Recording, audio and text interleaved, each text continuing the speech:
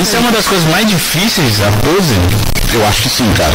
Eu acho que sim. Então tem, tem, tem competidores que, que ali em cima da hora perde porque não soube fazer uma pose. Com certeza. Às vezes ele, ele, ele começou a pose muito bem feita, só que ele desencaixou e o outro ainda tá na pose